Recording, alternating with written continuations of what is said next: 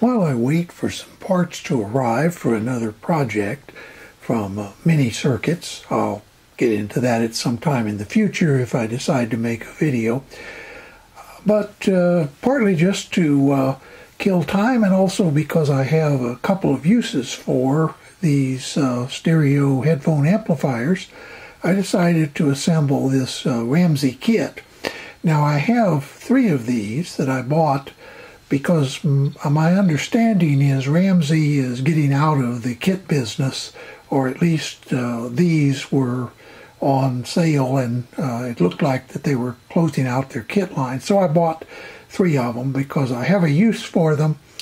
Uh, one use is just as a general amplifier to use with the analog discovery for doing experiments and so on. But I also use these to boost the output of the audio from an HDMI to video converter. I did a video, oh gosh, a year or so ago about HDMI converters. In other words, converting an HDMI signal to an analog uh, video audio signal. But that's another story. So, what I thought I might do is use this as an example of how I assemble these little kits. And you might see some ideas here. At least I tried to do it in a somewhat organized fashion.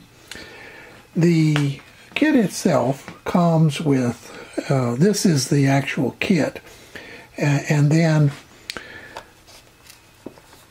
here are the pieces that are inside the kit. Obviously, that one I just showed you is still boxed up. It has an instruction manual.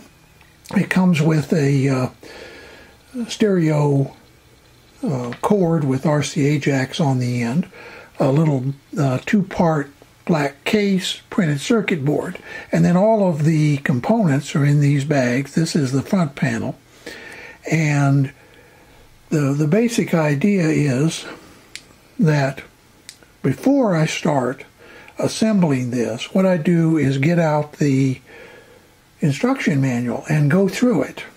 As I go through it, I try to identify every part to make sure first that I have everything I'm going to need, and second, so that later as I'm assembling it, I don't I'm not confused about where to find a part and accidentally install the wrong part because I think that this switch is supposed to be a single pole double throw and instead I uh, insert a single pole single throw or things like that. So this isn't intended as a dogmatic, this is the way you must assemble kits kind of video. It's just kind of a stream of consciousness, how I do it most of the time. And I admit that one of the things I believe about rules is there are always times that they can be broken. So, uh, especially rules about things like hobbies. So, uh, I'll uh, go through this and if I find anything interesting in this, I'll point that out before I start uh, checking the components against the circuit board and so on. And then I'll start assembling everything. I've taken out some of the components from the plastic bag that uh, they came in. And I've arranged them on this paper over here. On the left is the parts list. Let's zoom in on that a little bit.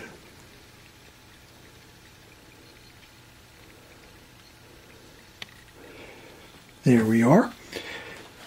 You can see that they've broken them up. Now, not all kits are going to be arranged this way. This is the way that Ramsey did this kit. The semiconductors are put in one group. Initially, it shows two LM386 audio amplifiers. Those are over here. There are two of them there. It may be hard to see, but they're both uh, side by side. Then it has a 1N4002 rectifier diode. That's here. And let's uh, zoom in on that a little bit. Maybe we can see it a little better. And I'm doing this, I realize that most of you are going to know this already, but I'm doing this in case there is somebody who is coming to kit building for the first time. And when you read a description over in the parts list, it's nice to kind of know what the part is likely to look like. So the next item is a 7810 voltage regulator. That looks this way. And you may hear people talk about this as a TO220 package. It just means that this particular arrangement of the leads here and the plastic case and the little heatsink uh, tab at the top. Then there are a series of resistors, and you may notice that the resistors have the color code red, black, gold, yellow, violet, red, and so on. So here is the value of the resistor, here is the color code, and then here are the places on the circuit board where these go, and we'll talk about that when we assemble the circuit board. So those are the resistors there. Then at the bottom are two potentiometers. They're sometimes called pots or volume controls. Uh, in this particular case, those are shown there as R3 and R4, two 10K potentiometers. Now, it doesn't say this, but these are actually audio taper potentiometers. There's two kinds analog, uh, I'm sorry, uh, linear, and audio. A linear is just if it's halfway in the middle, then the resistance is half of the 10K value. In an audio potentiometer, the resistance is arranged in a nonlinear way to match the human ear, so that as you turn up the volume, about the same amount of turn on the volume control corresponds to about the same as your ear hears difference in value. You may have heard that your ear is actually logarithmic when it comes to its adjustments to volume. Then below that are a bunch of capacitors. Now I'll point this out, then I'll show you all of them. On the left is the value, in this case 100 picofarads. It says the type of capacitor, ceramic in this case, and we'll see in a minute that there also are electrolytic and sometimes there's mylar and some others, but basically this kit only has ceramic and electrolytic. And then over here, it has a really nice uh, touch. They put in here marked 101. And then, of course, over here, C7 and 8 is where they go on the board. So, why would you get 101? Well, the way that capacitors like this are usually marked is the first two digits are shown here, 10, and then the number of zeros is the third digit. So in this case, it's 10 with one zero and that's in picofarads. So that's how you get 100 picofarads. So you might ask, well, how do you get 472? Well, that's 47 with two zeros. And that's 4,700 picofarads or 0.0047 microfarads. 0.01 is marked either 0.01 it might be marked as 10N. In this particular kit, they're marked 103s, which means it's 10 and three, three zeros. And then finally, the 0.1 mic ceramics, notice it's 104. In other words, it has one more zero than this one. Then there are some electrolytics, but before we get there, let's take a look at those ceramic capacitors. Okay, there are the first ones the second ones, the third ones. I'm not going to try to zoom in on those because, quite frankly, the markings are hard to read in general, but I will zoom in on these to show you, if I can get the camera to focus, that it says 104 on them. So now let's take a look at the electrolytic capacitors. You'll notice that there are three types the first is a 10 microfarad electrolytic capacitor, and there are four of those. The second type is a 220 microfarad, and there are two of those. And finally, there is a single 47 or 470 microfarad. Those are over here. There are the four that of the first type, those are the 10 microfarads. here are the two 220 microfarads and then a 470. So once again, we'll, we'll uh, mount those on the board. At this point, I have identified all of the electronic parts, that is the semiconductors, the resistors, and capacitors. There also are some miscellaneous, but I've left those in the bag, and we'll look at those a little later because some of those we don't mount until we finished assembling the board. So let's get on with doing that, and uh, after we've got a few parts on the board, I'll uh, show you a little video of how I do that. What I'm going to be doing is assembling the board, and like I said, I've held out these parts until later. But uh, after going over the uh, parts list and making sure I have everything, I'll be putting the board together according to the instructions and so on. But if you're only interested in the finished board, what I suggest you do is perhaps uh, skip forward to part two. This will be a two part. Part two will be from the point of having assembled the board through testing the board and checking its uh, characteristics, making sure that everything works, and then measuring its uh, specifications. And I do that based on some of the comments here on the front. You notice that it it says that it will work from 10 hertz to 100 kilohertz and almost 1 watt output per channel. I really suspect that's a that's an exaggeration. I think maybe a half a watt per channel is a little is pretty good for for a 386 and maybe even won't get there without substantial distortion. But that's okay for my application. That's going to work. And then I will be checking that it will operate on a 9 volt battery. Although for most of the applications that I'm going to use this for, I'll have a 12 volt power supply. The reason I want the 9 volt battery is I would like this to be a safe project for people that are not used to working with electricity, and 9 volts generally is. So, like any other electrical project, you do have to be careful, but this is at least low enough voltage that if you're a beginner, you don't have to worry about uh, it being lethal. But you can still blow up some parts with a 9 volt battery. And if you don't believe a 9 volt battery can give you a little shock, stick one on your tongue sometimes. you won't do it twice.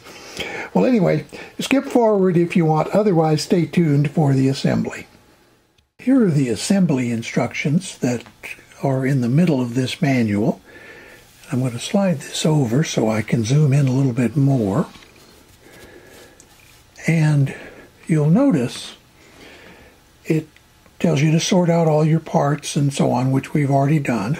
I've always found it's a good idea to read through the entire manual once before you start doing anything. And as you go through, identify the parts so you know what they look like later.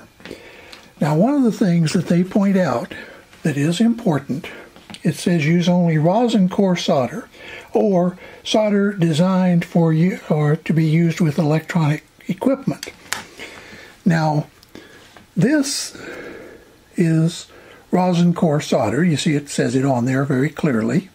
This is actually some old Archer 6040 solder that I bought before Radio Shack went out of business, or at least the ones in my area did. Here is an example of the kind of solder you do not want to use. Notice down here it says plumb shop. This is for plumbing. In this case, it's solid core solder. It doesn't have a core. If you try to use this, you'll find that it doesn't stick very well to the components or to the printed circuit board. And the reason is you need the rosin that's in the middle of the solder as a flux. The flux cleans the connections so it allows the, them to to make a better solder contact. Now there's an even worse kind of solder to use on electronics, and that is an acid core solder. I deliberately don't keep acid core solder around because I don't want it to get, ever get mixed up. Because if you use acid core solder on a printed circuit board like this, you very quickly find that the it will completely etch the uh, traces and you wind up with a piece of electronic equipment that if it ever works, it won't work for very long because the acid is slowly eating away all of the connections and all the traces on the board. So never use acid core solder, always use rosin core solder. Now there are some newer solders that are including lead free and so on. Unfortunately, you're going to find that you need to know a little bit about what you're doing to use those. I suggest if you're just starting out that you stick with rosin core solder until you are a little more familiar with soldering, and we'll talk about soldering when we get to that point. So, another point that it makes is save the excess leads because you'll need them to use for the nine jumpers. So, if you hadn't read that, you might cut all the leads off, throw them away, and then when you get to this spot, you say, oh my gosh, now what am I going to do?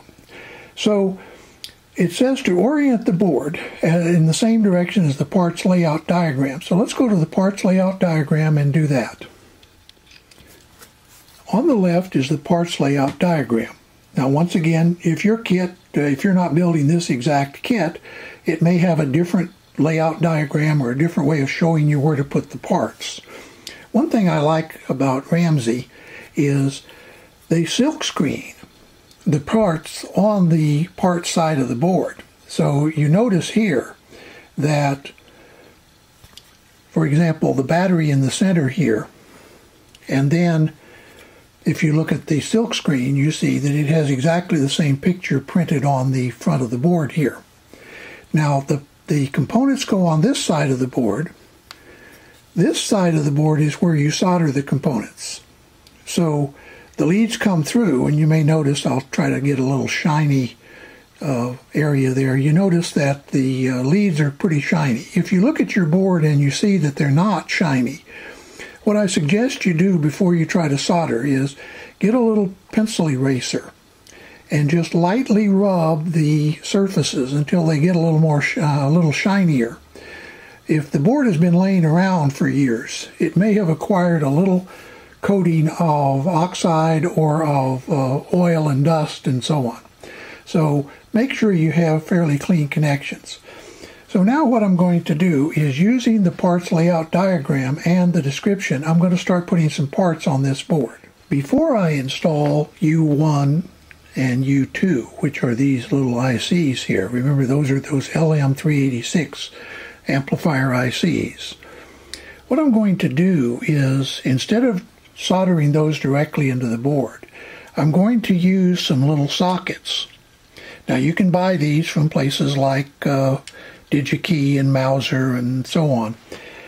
The reason I like to do that is not only does it allow you to leave the active parts out of the circuit while you test it initially, making sure that you don't have the wrong voltages hooked up, but also if you have to troubleshoot it's a whole lot easier to be able to pull the 386 out. For example, suppose that one works and the other doesn't, and you suspect it's a bad chip. Well, in this case, since you have two and you know one is working, you can plug it in here and make sure that works, and then you can plug it in over here and make sure that works.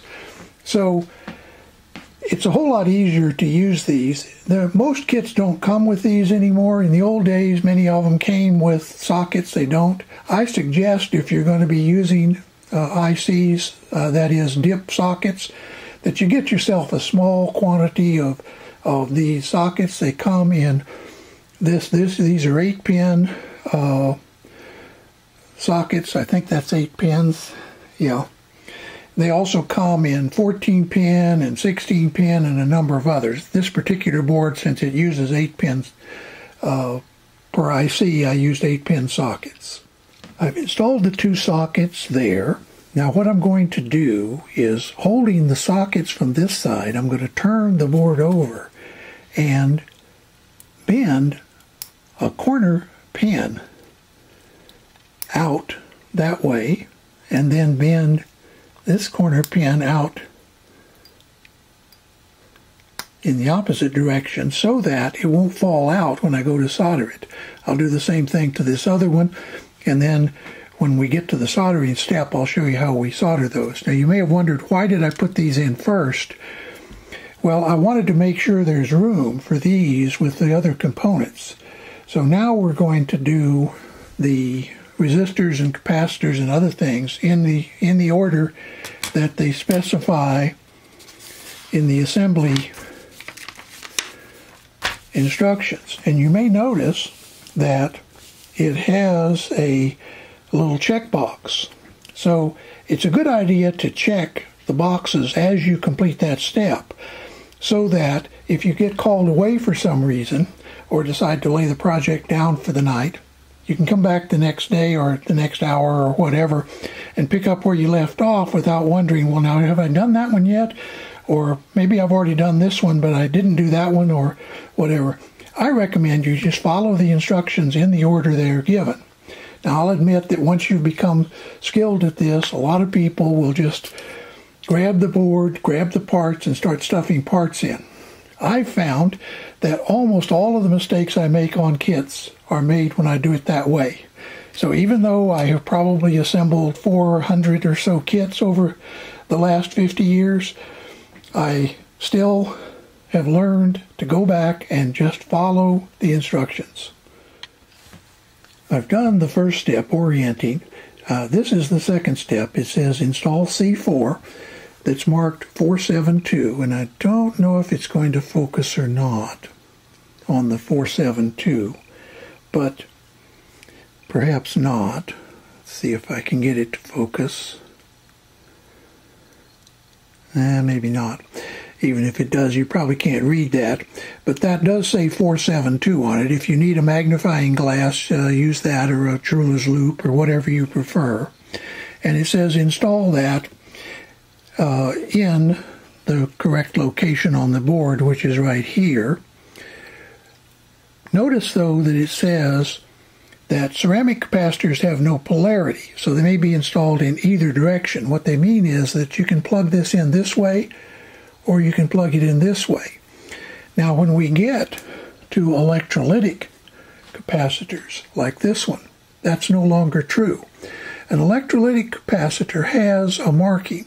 You'll notice here there's a minus sign right there. Fact, it's repeated down here. And that means that this lead on this side is the negative lead. Just like a battery, you have to install an electrolytic capacitor with the negative where it's properly marked with the negative on the board, and the other side, of course, is the positive or plus lead. Now, instead of doing the uh, boring every one with inserting every component and so on, and also I'm not gonna I'm not gonna bother doing the Keystone Cops routine with loud music and all of that. Uh, instead, I'm just going to skip ahead to having installed all of the resistors and capacitors. I've reached the bottom of this first two pages here. Now up here when it installed the uh, the voltage regulator, it said to solder the leads at that point. I waited. I'm going to solder the leads now. I waited till I installed these other three components, and I'll show you that in a minute. Now that kind of thing is is certainly okay, and it's uh, violates my rule to follow the instructions exactly, but uh, it's not going to hurt in this case. And I'm actually doing that for a reason. The generally, it's a good idea to mount some components and then get out your soldering iron and do all the soldering. The uh, as long as you don't miss any.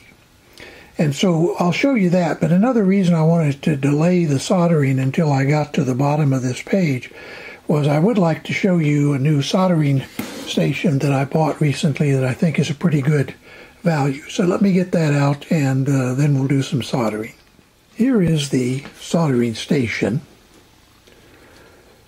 You'll notice the it's called the Xtronic LF 3990, I think that is. Let me zero in on that a little bit and see if it shows up better in the camera.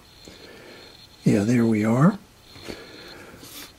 I got this relatively inexpensively. It looks like uh, 399D. And you'll notice that the there's a little light here that blinks until it uh, comes up to temperature. It's now up to temperature. I'm going to turn it off for right now just to show you some of the other things. It comes with a nice soldering iron stand here as well as one of these uh, tip cleaners that uh, cleans the tip without uh, without corroding it like uh, like those water-filled sponges do. So I'm going to be using this to do the soldering. And for that, I'm also going to get out a little vise that I like to use that holds it. There are lots of ways to hold circuit boards while you solder them. Some people just like to lay them down on a bench, but I like to put mine in a little uh, vise. So let me do that. I'll show you the soldering. I've mounted the board now in this vise. It's just a, uh, a heavy base vise that allows you to to put this in, and there's rubber uh, bumpers here that prevent you from uh, damaging the board. And now what I'm going to do, I have fired up the uh, soldering iron over there.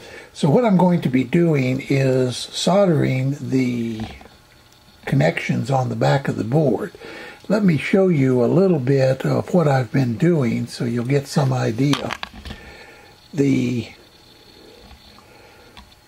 You'll notice that what I have done is cut off the uh, the leads as they come through and I've tried to make sure that I cut them off so that the, when the solder goes on they won't lap over to an adjoining trace. Now this board is solder masked. In other words, there's a, an insulating layer over it with holes in the layer where the solder is intended to stick. But you shouldn't depend on that. You should make sure that you uh, locate these wires in such a way as they come through or the leads so that they don't short to the uh, to the next one over. And so, for example, here you need to be a little bit careful.